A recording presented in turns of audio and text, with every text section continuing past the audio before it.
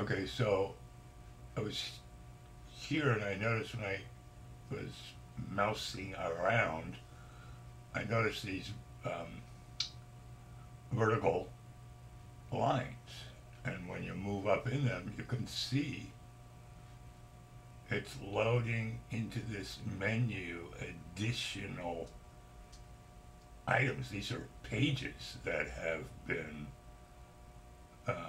these are all pages. They're not posts pages. They're pages pages. So we need to try and get those out of there.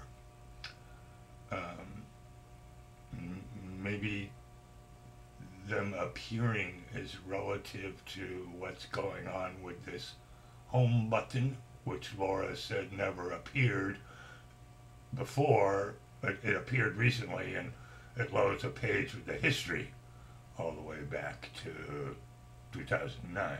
So this is kind of odd. So I'm going to see if I can find a way to stop this from happening. That's definitely, wait, this one, we definitely don't want that to have somebody click on that fucker because it goes to the sample with the PMR PayPal buttons.